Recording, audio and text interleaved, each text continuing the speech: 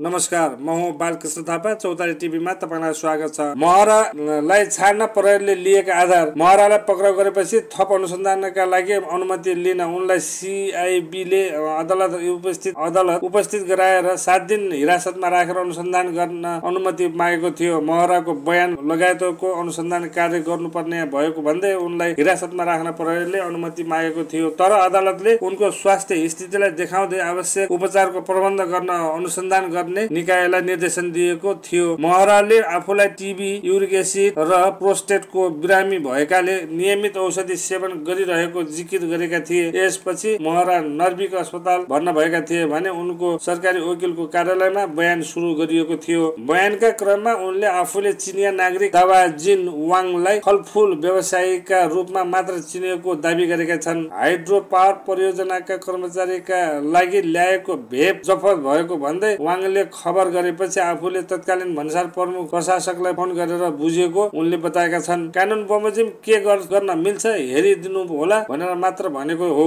उनले भनेका छन्। वाङसँग सामान्य विषयमा फोनमा कुराकानी हुने गर्थ्यो। सुनबारे निजसँग कुनै कुराकानी भएको थिएन। उनको प्रारम्भिक बयान सकिएको र थप बुझ्नु पर्ने कुरा नभएको सिआइबीका एसपी होविन्द्र बोगटी बताउँछन्। अदालतले पनि उपचार जरुरी भएको भन्ने हिसाबले आदेश गरेको थियो। बयान सकिएको र प्रमाण नष्ट गर्न सक्ने आधारहरू नभएकाले बाहिरै राखेर थप अनुसन्धान अघि बढाउने निर्णय भएको हो। उनले भने अनुसन्धान अधिकृतले हिरासत बाहिरै राखेर अनुसन्धान गर्न मिल्ने अवस्थामा छाड्न सक्ने मुलुकी फौजदारी संहिता व्यवस्था भएकैले यो सिफारिस गरेका थियौँ। धन्यवाद।